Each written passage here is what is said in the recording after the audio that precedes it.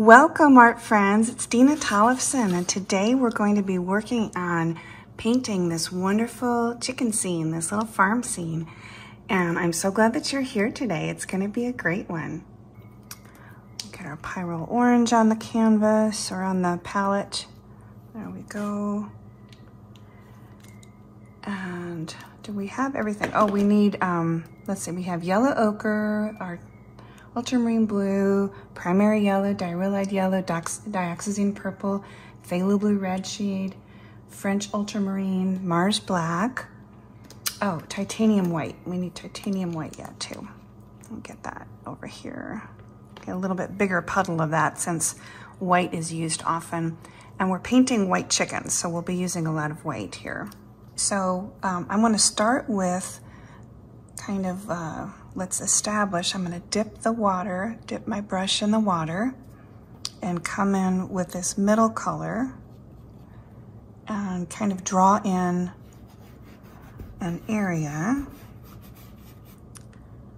where we have the light and the dark in the chicken yard.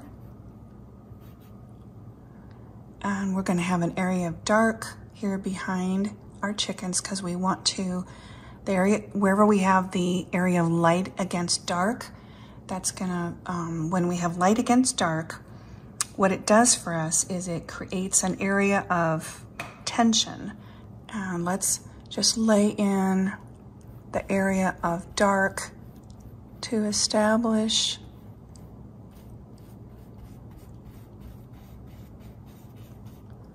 the dark area. So we're gonna go in and just make this whole area dark the area, we can always come in and get closer, but I just want to kind of get area where we're going to kind of carve out where the chickens are standing.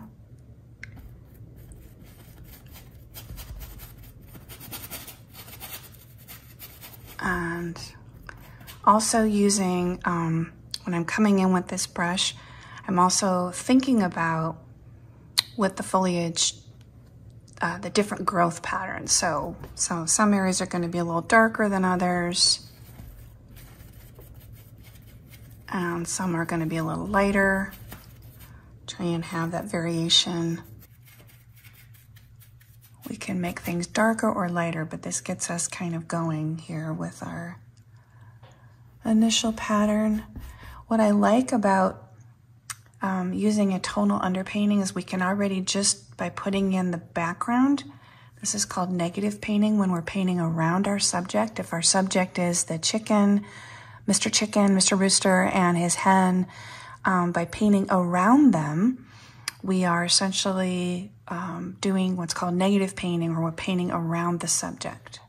All right, so here we have more of a line now. We're getting closer now that we've laid in some of the color, we can use this same background color and come in and start to show a little bit of the anatomy of the of the two birds by showing the angles that their bodies are. So I'm looking here at our photo, I'm looking at the edges here. Um, this part is a little bit darker. Then back over here, we have, this is a little, we need to have a little bit of shadow here. So let's get a little bit of shading up here. And as we're doing this, we're describing our bird. And this is dark in here. So you can see already the difference between when we have described um, just using our tonal underpainting when we have described the, um, start to put some shadow in, how all of a sudden we get more of a 3D look.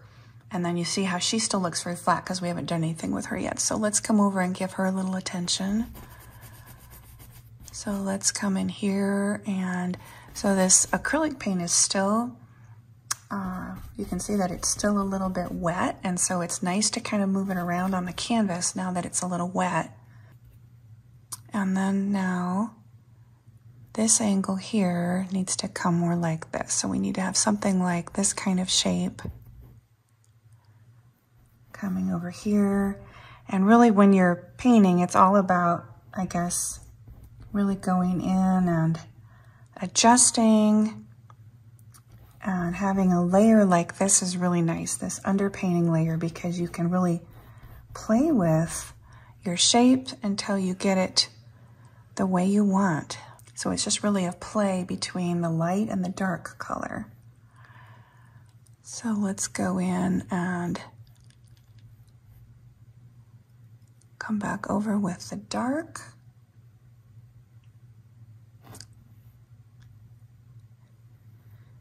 Get this angle here, come back with dark.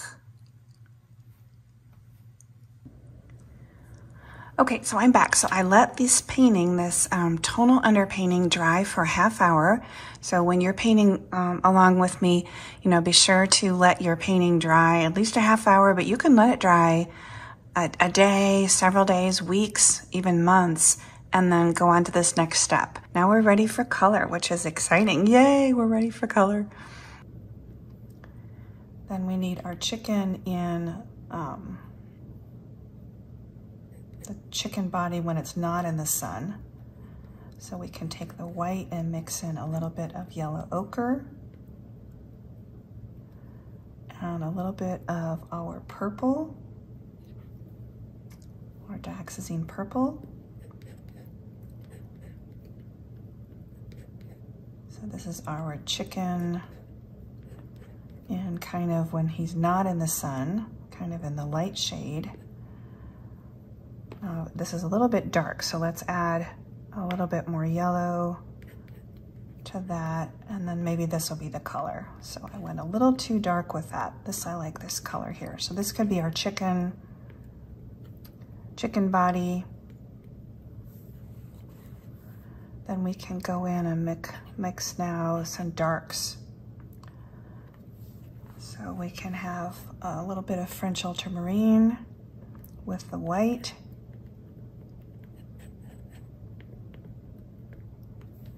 And also the purple and the ultramarine or the um, yellow ochre. Mix up some shade colors or some darker colors for our chicken and our rooster. So it's really about mixing these colors. I really like the idea of mixing my colors ahead of time before I go to the canvas so I have a plan of um, what I a plan about my colors, what my colors are gonna look like. So then we have a little bit of lighter one. We added a little bit of the Naphthol red. So just kind of making a nice mix of these colors. And now we can wipe this off.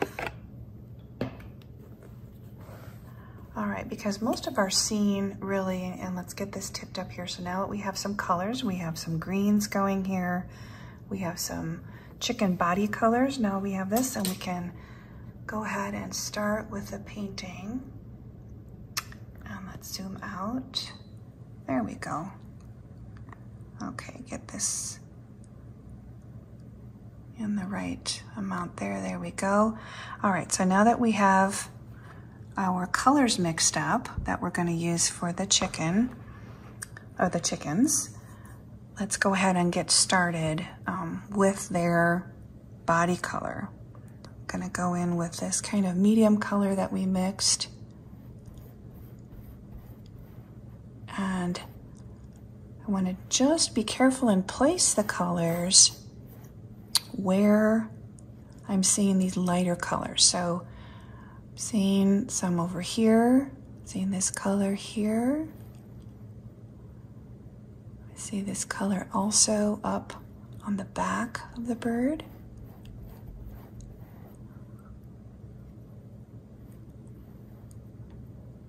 And then in the feather areas.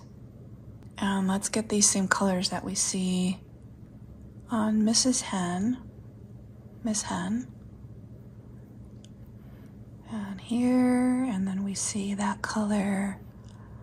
Also, the light color over here and then kind of on that puffy part of her body. I saw that there was a spot on him where I'm seeing some almost a blue color. And that's coming in right through the center of his body.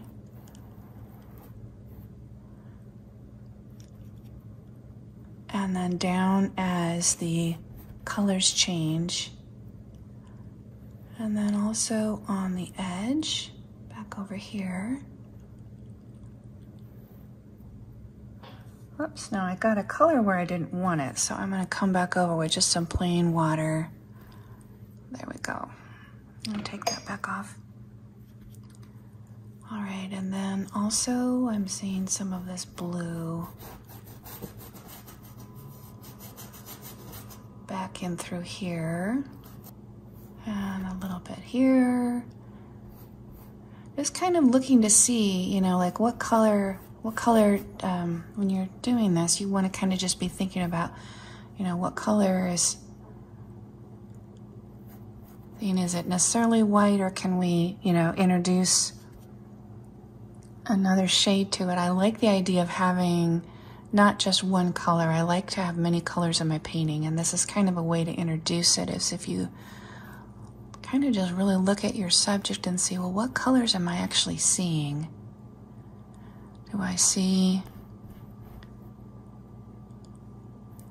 Or, or maybe what colors am I feeling? Am feeling this blue color? And now let's go into this darker part of the bird. And I'm going to use this kind of purple color that we mixed.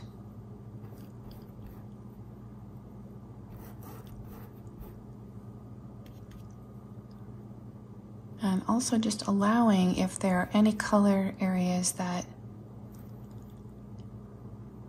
making sure that it's dark enough because it's like a mistake would be to now make our colors too light.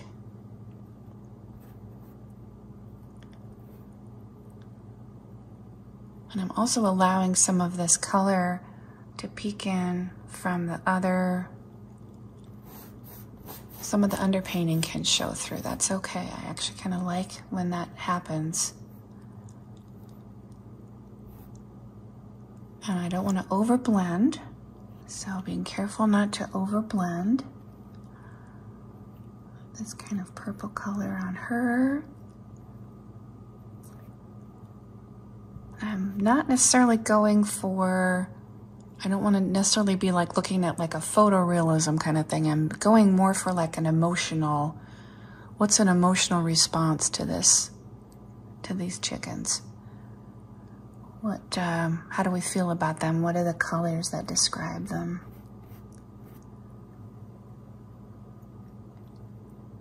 And then also thinking about like the, like for example, like this tail when we're painting the tail, we're thinking about the bird itself.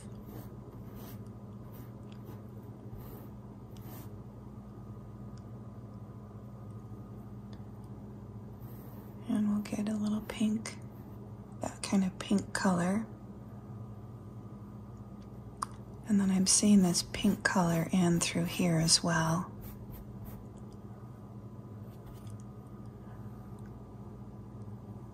And I see that on her coming in, in the bottom area.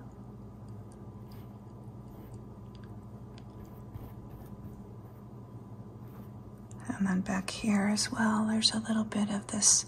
It feels like there's some pink there.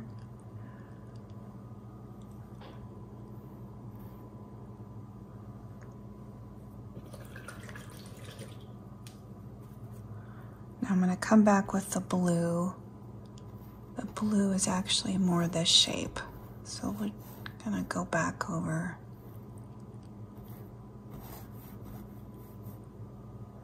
that a little bit there. That's good. All right, so now let's think about the leg. So the leg um, actually is not really super um, the leg on the bird is not really that pronounced. but we want to get almost maybe paint around it might be the way to go.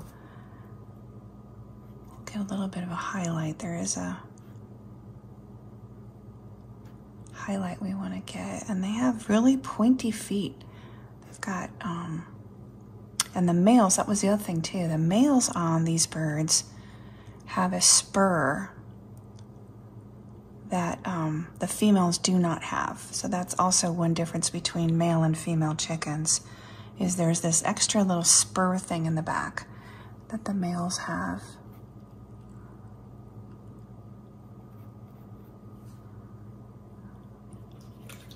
And I made the legs too light on the female, so let's pull that back off. That was too visible. But I want to draw, when I want to get the spur, so let's maybe use this purple color that we have.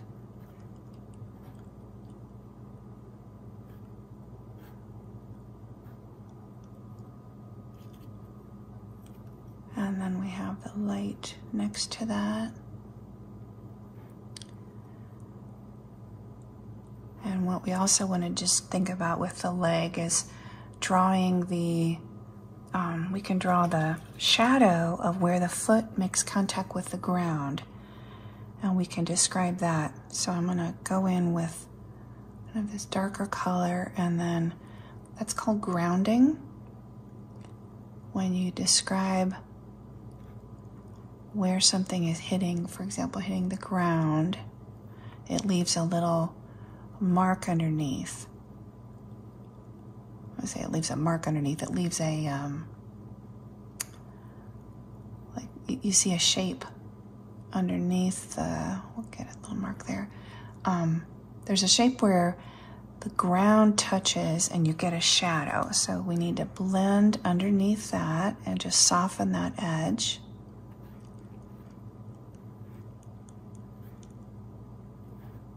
where we grounded it. There we go. But just kind of this idea of where the foot is touching the ground. We can kind of ground over here as well. But we don't see much of, she's really kind of in the grass. We don't want to overdo her leg. Okay, so now let's go over here and um, work on the the head of our bird a little bit. So, got this.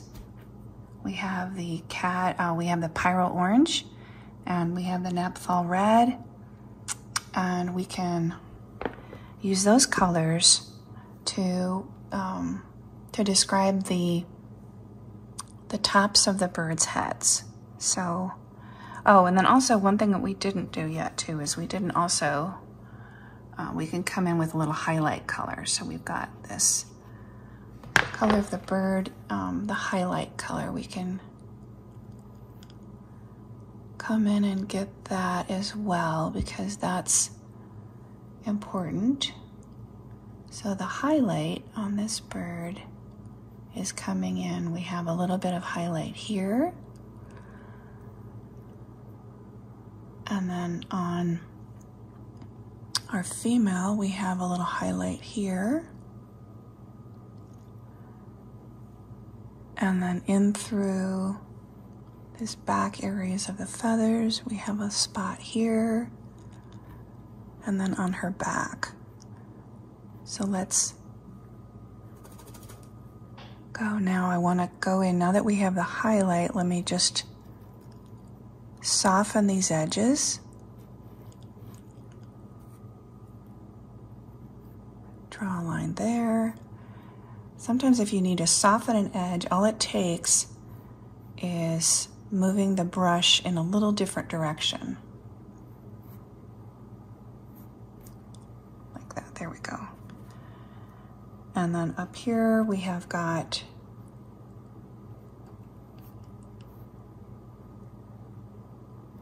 some highlights as well.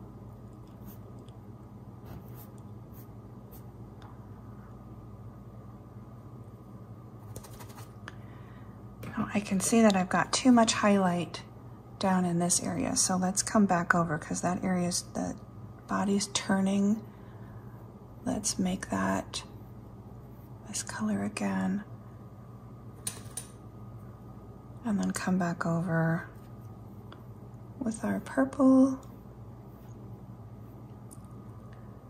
and fix that. It's actually more of a shape like that.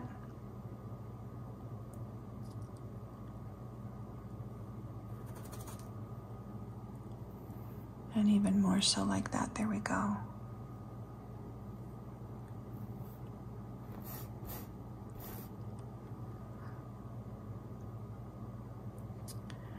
All right. So now back over to the top of their heads. So we have where the sun is hitting it. So let's see here. Let's start with the orange. There are these shapes up at the top of Mr. Rooster. And then she's got just a little bit of a top on hers. And then if I come in with the red, let's put the red in. And then below here, we have these coxcomb area. And so a little bit of the red here, and then we've got a little bit in the face on her. And now I'm going to take um, a little bit of this dioxazine purple and mix that in with the red to make a darker color. You also could do that with alizarin crimson. use alizarin crimson. But let's put this dark color back here. This is going right behind the bird's head. And underneath.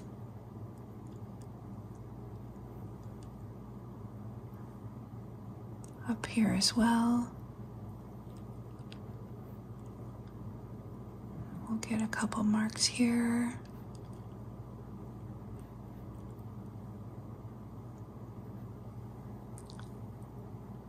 And then she's got some dark here as well.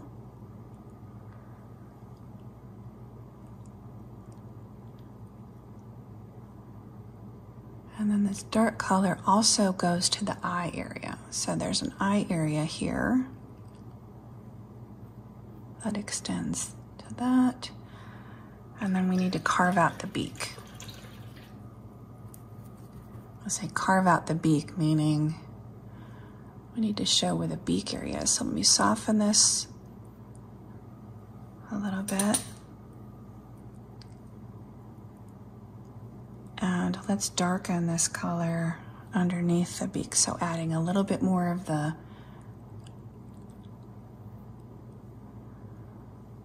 dioxazine purple. Uh, let's zoom in a little bit on that. So there's a dark color that we can put in just using the dioxazine purple. We'll get a shape going with that below here and then also in here. Then back behind here, we're gonna make that even darker. And then she's gonna have a dark area here too. And then back in here, all right.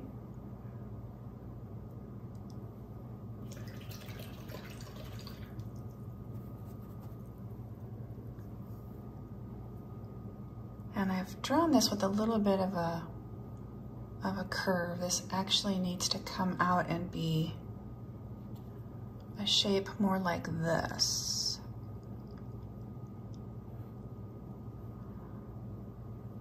More like that. There we go. And then coming across like that. So that's better. And then we can put the this dark red in here again. and change that shape like that.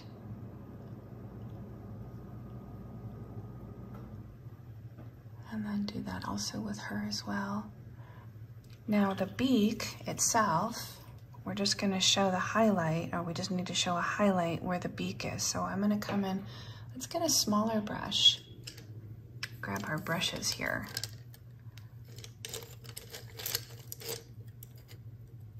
Let's just get a small round over here to work on our beak.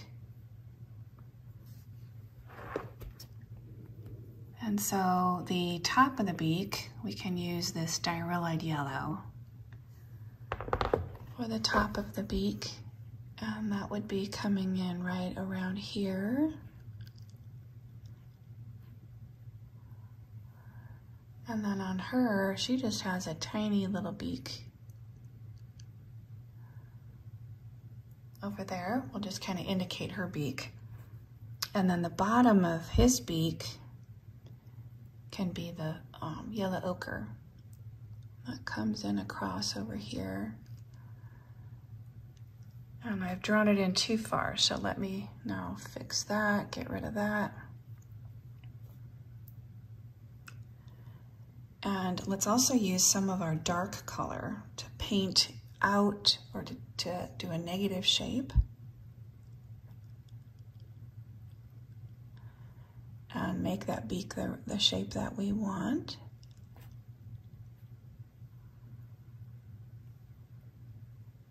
Um, it's a little too pointy. Get a little mark there to show the edge of the beak and then to show his eye, he's got a tiny, kind of a tiny eye. You don't want to make it too big or too obvious.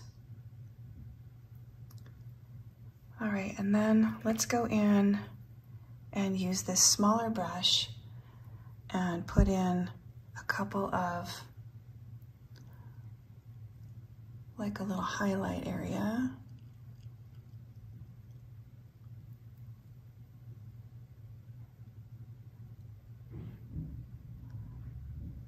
And if the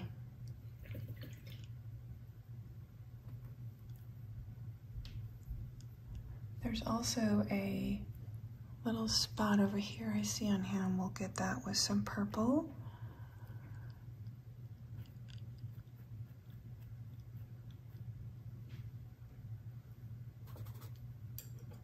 Going back to our bigger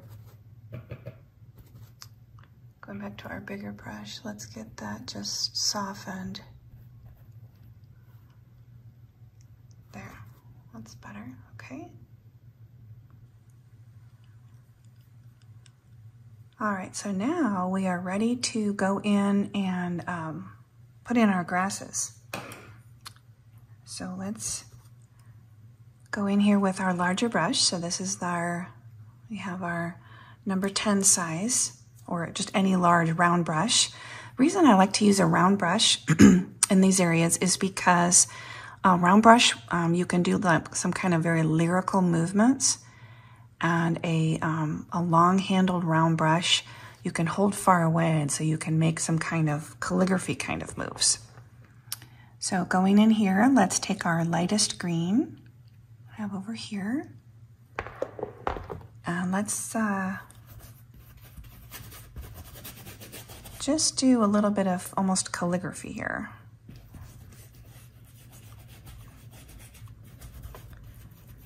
Get the feeling we want to really emphasize the idea of sunlight. And we can get that uh, back in here as well. So there's like a dappled sunlight effect. Oh, let's come in over here with our medium green.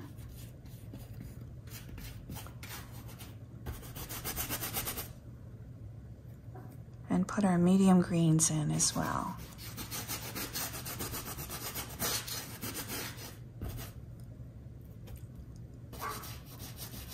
Can you hear Scrunchy giving a little bark? She's giving a little bark. She wants to help paint today.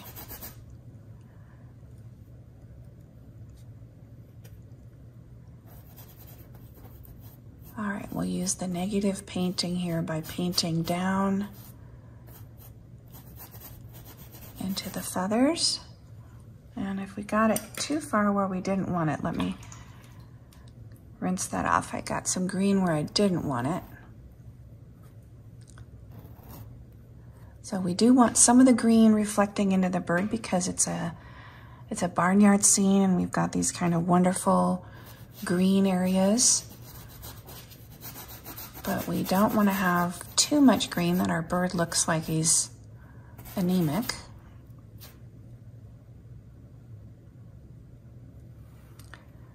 So we'll get some cool greens going on there.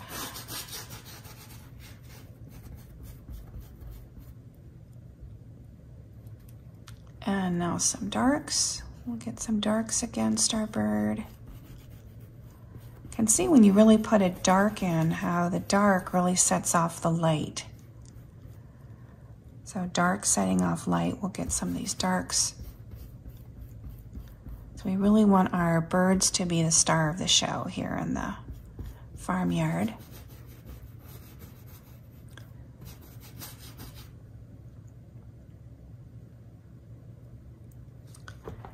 And then I'm picking this um, dark that we mixed by using our primary yellow and our Mars black together.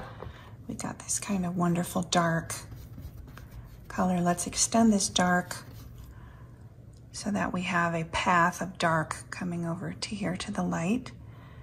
Let's get some of the lighter greens, the brighter greens, up mixed in here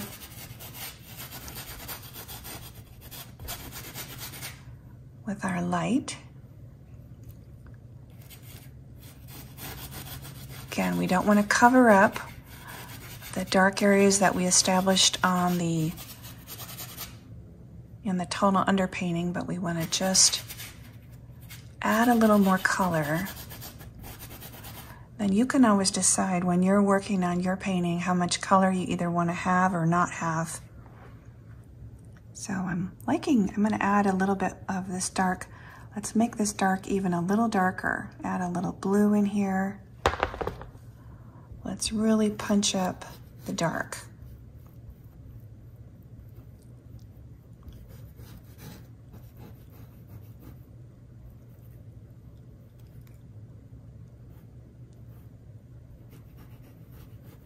Get a really nice contrast going. between our lights and our darks.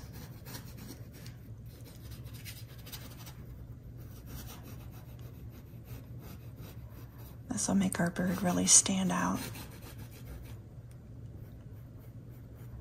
And then by contrast, his legs kind of automatically come into focus by just painting around them. Let's take this wonderful deep dark color that we have and add that a little bit in behind Miss Hen as well, connecting that dark, reinforcing the areas of light and dark that we established in our underpainting phase. And I got a little bit of, I'll zoom in here, I got a little bit of color where I didn't want it on her, so I'll come back into my bucket of water and just wipe that off. Get that off of her, just scrub it off. Then I can come back and paint that spot again.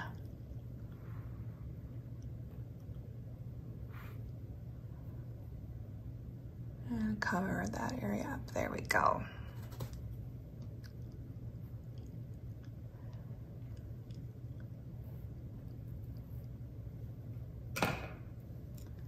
All right, so let's continue getting this dark color.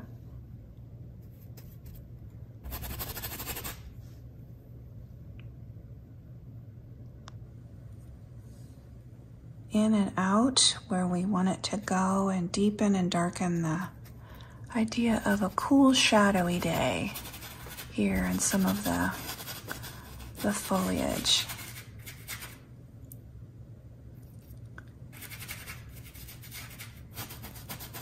So the way to make something look lighter and brighter is to put something dark next to it. So that's why I'm really emphasizing the dark colors is that will make our bright colors or our light colors feel brighter and lighter. All right, now rinsing off my brush here and the and getting a nice clean brush. I'm gonna go in, I this line here, I'm gonna, I, uh, this line here is kind of bothering me, so I'm gonna fix this here. Whoops, that's too light of a green. Let's come back in with the light color, there we go.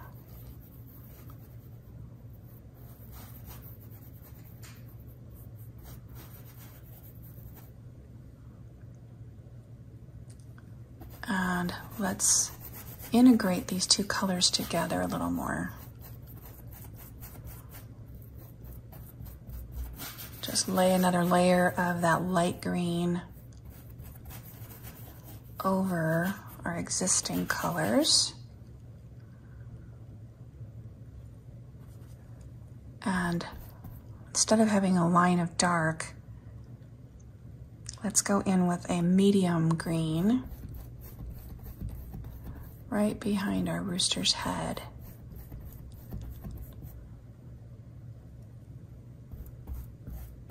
And make that more of a vertical or a horizontal line. Like that, there we go.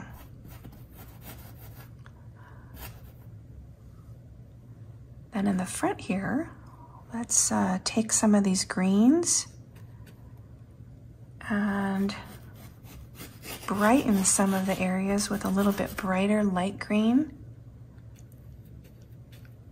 in another layer. Just nice and light and bright.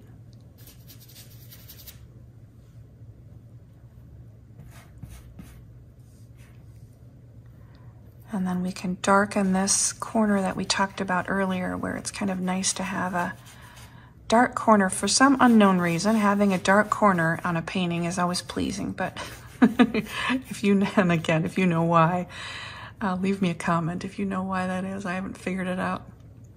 I can't figure out exactly why that is, but it just kind of is a thing. All right, let's integrate these two areas of light and dark a little more with some middle tone by just scumbling this over here get some more of our original darker color and just kind of get the feeling like we've got some dappled sunlight.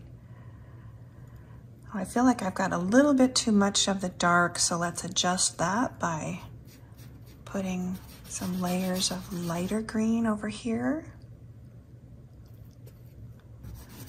So the nice thing is when you're working on your own version, you can always make adjustments. Light over dark, dark over light. We'll get a little light color up here.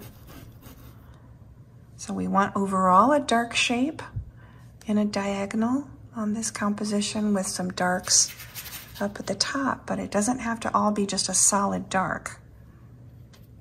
We can vary that with different shades and tones. Let's get a little bit more dark underneath and between the leg.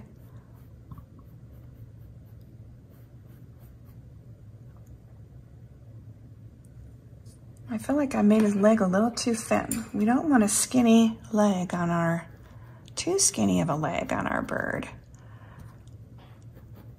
Let's go in. I'm just taking the filbert brush with a little bit of water on it and just coming back over to, there we go. Make that adjustment.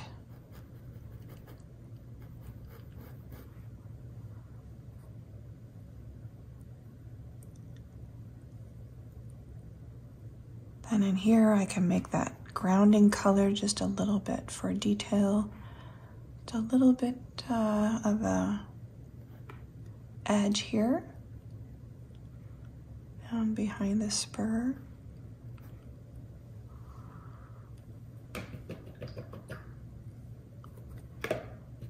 Then then for the eye, I feel like we can make the eye a little bit more dynamic. Let's go up here to the eye of our chicken. And I'm gonna use this um, brush here. This is a number two brush, but a small round brush. But let's go up here and I'm gonna, let's see, that's maybe too zoomed in. Well, maybe it's okay.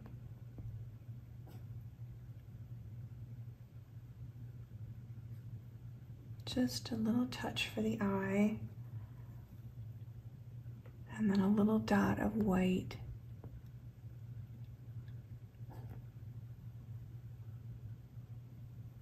Made two dots of white. Let me go in now. Whatever happens to you, just put a little dark over it again. There. All right, so now we have the eye. And her, um, Miss Hen back there, she's far enough away that we don't necessarily need to do the dark, but we could do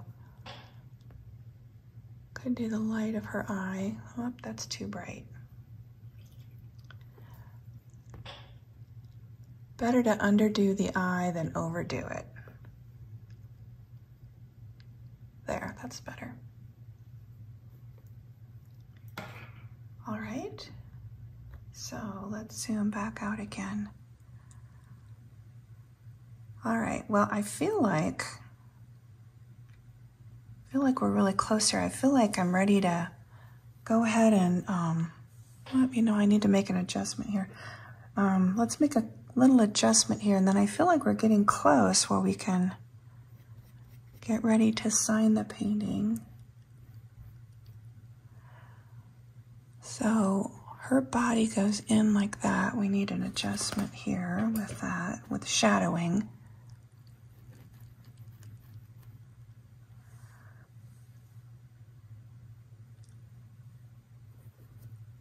But we can use that same kind of purpley color, the dark color, and just go in and give her a better edge. Then over in here, this dark color, we can add even a little bit more of the blue, green, give her a little more dimension. And under here as well. Since she's more in a shadowed area, that makes more sense. That but we don't want her totally blue either. So let's mix that with a little bit of the purple and see if we can get a something that works a little better. Yeah, that's better. Then there's a shape under here. Then he has a shape. Let's do that same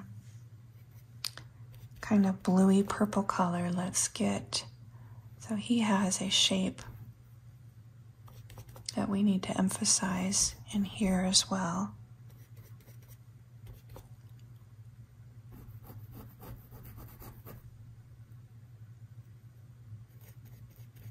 So I'm just taking this original shadow color, which was the phthalo blue red shade, and the um, phthalo blue red shade plus small amount of yellow ochre. Let's get that color there, okay. And under here, and then down here as well.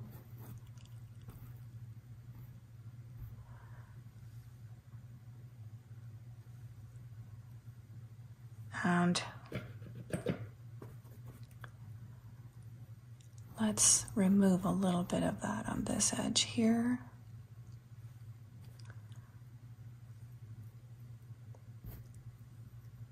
And put a little bit of the pink. Just soften that.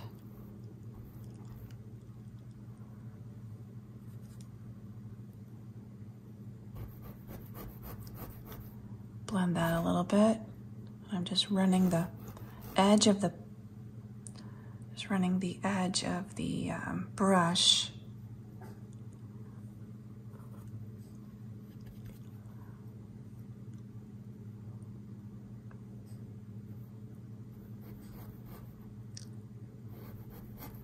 And we need a little bit of a lighter color here and then back in here.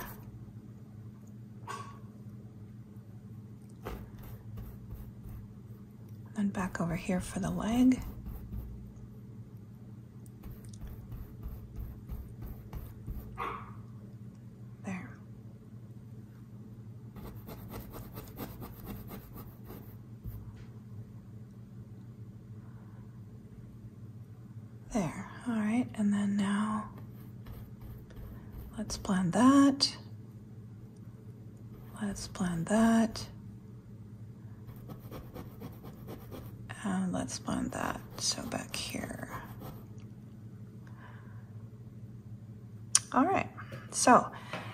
The next step is to sign the painting.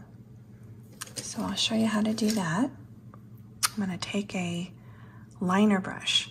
So this is a, we know it's a liner because it says liner, but liners have, um, they're like really nice for signing your painting or signing your name. And the way to do that is I like to sign in black. You can use any color that you like to sign, but how you do that is you take, get some water, and then mix up a consistency of your paint so that it's a little bit like ink, a little inky. So instead of right out of the tube, we want to have it be watered down. See what nice how easy that is. It's almost like if you think about like a quill pen, you want to have it where your ink, where it makes a nice mark. If you just use it directly um, out of the tube, it's a little bit harder to work with. But um,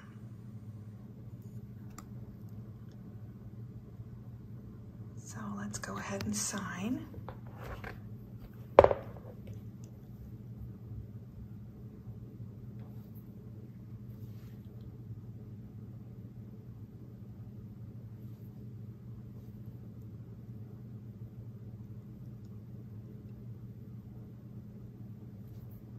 And I like to use my um, first initial and then full last name. And um, it's important to sign your work because people want to see your signature. They want to know who painted it. And it's a way to show that you're proud of what you've made is when you sign it. So it made a little boo-boo right there. There we go. All right. So here is the finished painting. Well, I want to thank you so much for being with me here today, and I hope that you'll come back and see me again soon. So until next time, it's Dena Tollefson, and all my best to you. Bye bye. Thank you so much, my art club members. I appreciate you.